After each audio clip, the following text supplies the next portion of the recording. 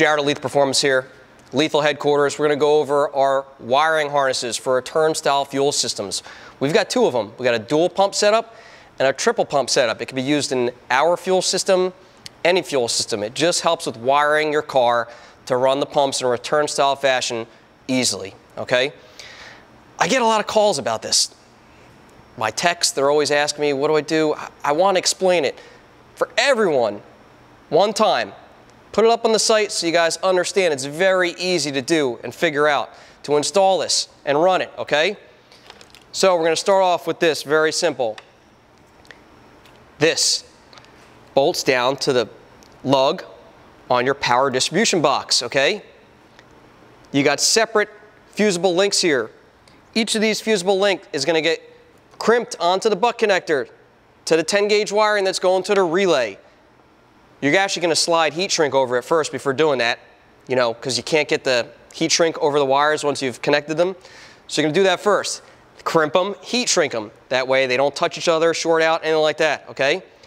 What this does is if there's a short in between your battery distribution box and these relays and the wire anywhere, it's going to pop this fusible link because it's rated at 20 amps per wire, okay?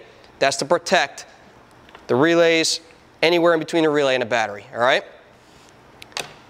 Then, like I said, your 10 gauge wiring, power from your battery is to be going to these relays right here, 40 amp relays, okay? This is, again, the most common thing I get asked about. What do I do with the wiring? What do I do with the relays? Simple. I mean, there's two things you got to worry about right here. Look, black wires with lugs on them. It's pretty self-explanatory. These are ground for the relays. You're going to ground them to the chassis at a proper grounding point on the 9904 Mustangs where the fuel pump driver module is. Ground it there. On the 05 and up cars, same thing. Factory chassis ground with the ring terminals. The next thing, the only other thing we got to worry about is a trigger wire for the relays. What this does, it actually allows the current that's going from your battery to pass through the relays, go down the wires to your pumps, okay? So, on your car, depending on the year, you have a fuel pump driver module, FPDM, okay? You're gonna find the wire, it varies between uh, different vehicles, the colors, which I do have listed in our instru instructions on the website, okay? You're gonna actually cut that wire a few inches from the fuel pump driver module, and the wire that's actually leading back to the PCM, not still hanging off the fuel pump driver module, you're gonna connect to these blue wires right here right there. Put a uh, heat shrink over it, crimp it, seal it up, that's it, okay? This is how it works. When you key the car on now, in the on position, power then will flow from these wires from your power distribution box, okay, through the relays to your pumps. It's that simple, all right? Now, on the 99 to 04 cars, the GTs, Mach 1s, and 034 Cobra, uh, 9904 Cobra, whatever it is.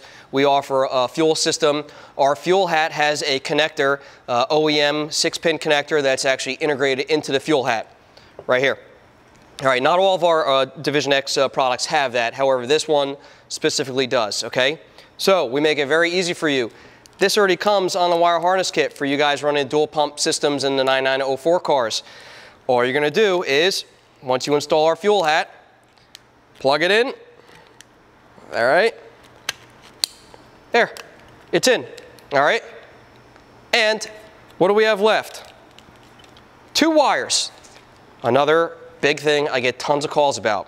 I'm gonna clear it up for you right now. Your factory wiring that went out to your fuel hat that powered the pumps, okay? Uh, On 9904 GT Mach 1 and Cobra only has four wires, okay? There's two larger wires and two small wires. The larger wires on your factory setup are for your power and ground to the pumps. The two smaller wires are for ohm resistance for your level sender, okay? So when you clip off the wires at your factory fuel hat before installing ours, clip it at the hat, a few inches away from the connector on the factory fuel hat. You've got your wiring hanging out.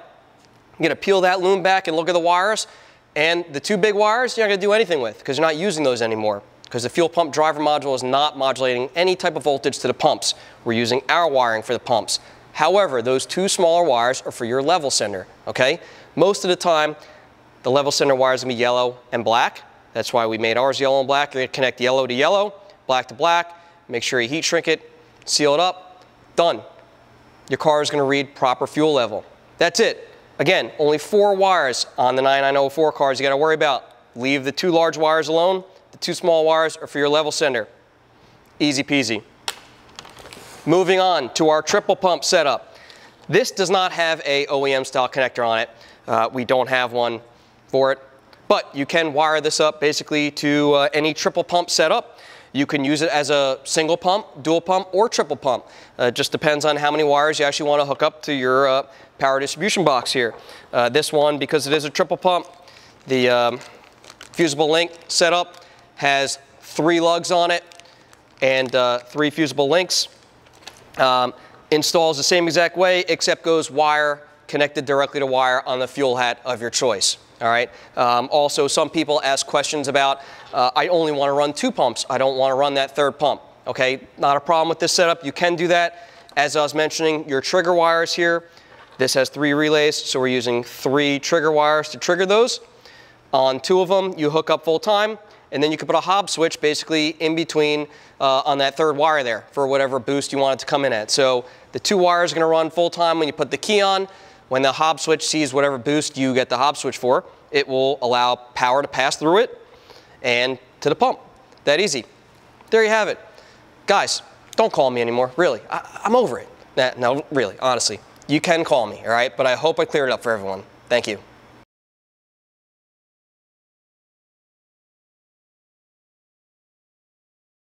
Hey guys, Kara from Lisa Performance here. Still got that list from seventh grade, but I'm gonna try and do this for you guys. Marty!